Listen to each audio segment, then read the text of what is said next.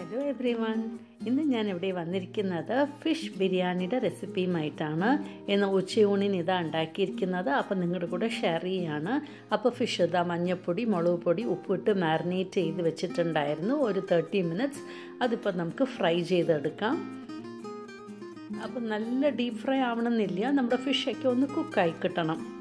അപ്പോൾ ഒരു സൈഡാകുമ്പോൾ മറ്റേ സൈഡും ടേൺ ചെയ്തിട്ട് കൊടുത്ത് അങ്ങനെ നമ്മുടെ എല്ലാ ഫിഷും നമുക്ക് ഇതുപോലെ ഫ്രൈ ചെയ്തെടുത്ത് മാറ്റി വയ്ക്കാം അരയ്ക്കാനായിട്ട് ഇപ്പോൾ ഒരു ഇരുപത് വെളുത്തുള്ളിയുടെ വെളുത്തുള്ളി എടുത്തിട്ടുണ്ട്. ഒരു വലിയ പീസ് ഓഫ് ജിഞ്ചർ പിന്നെ നാല് പച്ചമുളക് പിന്നെ ഒരു ഹാൻഡ്ഫുൾ ഓഫ് കൊറിയാന്റെ ലീവ്സ് നമ്മുടെ മല്ലിയില. പിന്നെ നമുക്ക് വേണ്ടത് ഒരു ചെറിയ കഷ്ണം പട്ട ഒരു രണ്ട് ക്ലോവ്സ് പിന്നെ ഒരു ടേബിൾ സ്പൂൺ നമ്മുടെ പെരിഞ്ചീരകവും ഇതും എല്ലാം കൂടെ ആഡ് ചെയ്തിട്ട് നമുക്കിത് ഗ്രൈൻഡ് ചെയ്തെടുക്കാം. ഇതാ അരപ്പ് റെഡിയായി ഇപ്പോൾ ആ വറുത്ത അതേ എണ്ണയിൽ തന്നെ രണ്ട് പട്ടയും രണ്ട് കാടമ്മം പിന്നെ ഒരു സിനമൺ സ്റ്റിക്കും ആഡ് ചെയ്ത് കൊടുക്കാം. എന്നിട്ട് അതിലിപ്പോൾ ഇതാ രണ്ട് സവാള സ്ലൈസ് ചെയ്തത് ആഡ് ചെയ്ത് കൊടുത്ത ശേഷം നന്നായിട്ട് നമുക്കൊന്ന് വഴറ്റിയെടുക്കണം.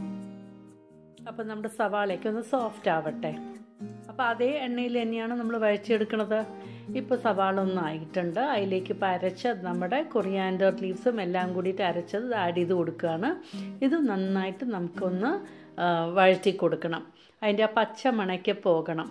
അപ്പോൾ ഇത് വഴറ്റുമ്പോഴത്തേനും നല്ല മണമായിരിക്കും. നമ്മൾ വെളുത്തുള്ളി ഇഞ്ചി പിന്നെ കൊറിയാൻഡർ ലീവ്സ് പച്ചമുളക് ഇതിന്റെയൊക്കെ നല്ലൊരു മണം വരും. ഇപ്പോൾ ദാ നമ്മുടെ മസാല ഒന്നായിട്ടുണ്ട് ഇനിയിപ്പോൾ നമുക്ക് തക്കാളി ആഡ് ചെയ്ത് കൊടുക്കണം. ഞാനിപ്പോൾ ഇവിടെ ഒരു നാല് തക്കാളി ഒരു മീഡിയം സൈസ് തക്കാളി ആയിരുന്നു അത് ആഡ് ചെയ്ത് കൊടുക്കുകയാണ്.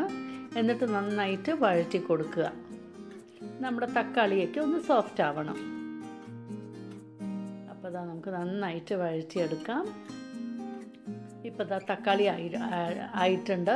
ഇതിലേക്ക് ഒരു ഹാഫ് ടീസ്പൂൺ ടേമറിക് പൗഡർ ഒരു ഹാഫ് ടീസ്പൂൺ ചില്ലി പൗഡർ പിന്നെ ഒരു വൺ ടീസ്പൂൺ കൊറിയാൻഡർ പൗഡറും അതേപോലെ തന്നെ ഒരു വൺ ടീസ്പൂൺ നമ്മുടെ ഗരം മസാലയും.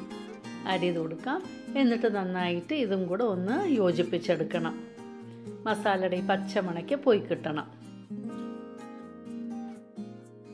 ഇപ്പോൾ വീട് മുഴുവൻ ബിരിയാണി മണമാണ് ബിരിയാണി ഉണ്ടാക്കുന്നതിന്റെ ആ ഒരു മണം. ഇപ്പോൾ അതാ നമ്മുടെ മസാല എല്ലാം യോജിപ്പിച്ചെടുത്തിട്ടുണ്ട്. ഇനി പാകത്തിന് ഉപ്പ് ഉപ്പ് ആഡ് ചെയ്തിട്ടില്ല. അപ്പോൾ പാകത്തിനുള്ള ഉപ്പ് ആഡ് ചെയ്ത് കൊടുത്തിട്ട് യോജിപ്പിക്കാം. ഇനിയിപ്പോൾ വേണ്ടത് തൈരാണ്. ഒരു ക്വാർട്ടർ കപ്പ് തൈര്. ആഡ് ചെയ്ത് കൊടുക്കുക. നല്ല കട്ടി തൈരാണ്. അപ്പോൾ ഇതും കൂടെ ആഡ് ചെയ്ത ശേഷം നന്നായിട്ട് നമുക്കൊന്ന് മിക്സ് ചെയ്തെടുക്കാം. ഇപ്പം നമ്മുടെ മസാല റെഡി ആയിട്ടുണ്ട്. അപ്പോൾ മസാലയും റെഡി ഫിഷ് ഫ്രൈയും റെഡി അപ്പോൾ ഇനി ഈ മസാലയ്ക്ക് നമ്മുടെ ആ ഫിഷ് ഫ്രൈ നമുക്ക് ആഡ് ചെയ്ത് കൊടുക്കണം. ഫിഷ് പൊട്ടാതെയും ഇരിക്കണം. അതും ശ്രദ്ധിക്കണം. ചിക്കൻ പോലെ അല്ലല്ലോ. അപ്പോൾ ജെന്റ്ലി വേണം നമുക്കിത് മിക്സ് ചെയ്യാനായിട്ട്. അപ്പം ഞാൻ എന്ത് ചെയ്തു? ഒരു മൂന്നാൽ പീസസ് അങ്ങോട്ട് മാറ്റി വെച്ചു. അപ്പോൾ പിന്നെ അത് ടോപ്പ് ചെയ്യാലോ വെച്ചിട്ട്. അപ്പോൾ ഇതാ മസാലയിൽ കോട്ടഡായി അതൊരു five to eight minutes masala ഒന്ന് വെന്ത് കിട്ടട്ടെ ഇപ്പോൾ ഇതാ ഒരു ഉരുളി എടുത്തിട്ട് നെയ്യ് ആഡ് ചെയ്തു. അതിലേക്ക് നമുക്ക് നമ്മുടെ പട്ടയും ഗ്രാമ്പും ബേ ലീവ്സും എല്ലാം ആഡ് ചെയ്തു. കാടമം എല്ലാം.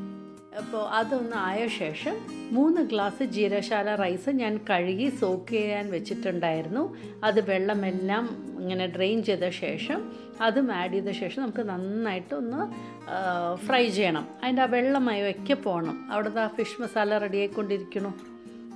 അപ്പോൾ ഇത് നന്നായിട്ട് നമുക്കൊന്ന് ഇളക്കി കൊടുക്കണം. ഈ അരിയുടെ വെള്ളമയമൊക്കെ പോകണം അപ്പോൾ മൂന്ന് ഗ്ലാസ് ജീരശാല റൈസാണ് എടുത്തിരിക്കുന്നത് അതിന് ഞാൻ അഞ്ച് മുക്കാൽ ഗ്ലാസ് വെള്ളം എടുത്തിട്ടുണ്ട്. അത് തിളപ്പിക്കാൻ വെച്ചിട്ടുണ്ട്. ഇത് ആഡ് ചെയ്ത് കൊടുക്കാം. ഇപ്പോൾ അത് തിളച്ച വെള്ളം ആഡ് ചെയ്ത് കൊടുത്തു. ഇനി പാകത്തിനുള്ള ഉപ്പും ഒരു നാരങ്ങയുടെ ജ്യൂസും ആഡ് ചെയ്ത് കൊടുത്ത ശേഷം നന്നായിട്ട് ഇളക്കി അടച്ച് മീഡിയം ഫ്ലെയിമിൽ നമ്മുടെ റൈസ് കുക്ക് ചെയ്തെടുക്കാം. നന്നായി ഇളക്കി കൊടുത്തിട്ടുണ്ട്. നമുക്ക് അടച്ച് നമ്മുടെ റൈസ് ഒന്ന് വെന്ത് കിട്ടട്ടെ. ഇപ്പോൾ ഇതാ റൈസൊക്കെ നന്നായി വെന്തിട്ടുണ്ട്. ഇനി നമുക്ക് ലെയർ ചെയ്യണം. റൈസും റെഡി ഫിഷ് മസാലയും റെഡി അപ്പോൾ ആദ്യത്തെ ലെയർ ഫിഷ് മസാല പിന്നെ അതിന്റെ മുകളിൽ ചോറ് പിന്നെ ബട്ടറും കുറച്ച് കൊറിയാന്റെ ലീവ്സും ഇതേപോലെ ടോപ്പ് ചെയ്തിട്ട് പോകണം ഇതേപോലെ നമുക്ക് ലെയർ ചെയ്തിട്ട് പോകണം നമ്മുടെ അരി മസാലയും ചോറും മസാലയും കഴിയുന്നത് വരെ. അപ്പോൾ ഇതാ റെഡി ആയിട്ടുണ്ട്. ഇനി അടച്ച ഒരു ഫിഫ്റ്റീൻ മിനിറ്റ്സ് നമുക്ക് ദമ്മിൽ വെക്കാം. ഒരു ചപ്പാത്തിക്കല്ലിന്റെ മുകളിലാണ് വെച്ചിരിക്കണേ. അങ്ങനെ നമ്മുടെ അടിപൊളി ഫിഷ് ബിരിയാണി ഇതാ റെഡി ആയിക്കൊണ്ടിരിക്കണു ഫിഫ്റ്റീൻ മിനിറ്റ്സ് കഴിഞ്ഞതാ. ബിരിയാണി റെഡി ആയിട്ടുണ്ട്.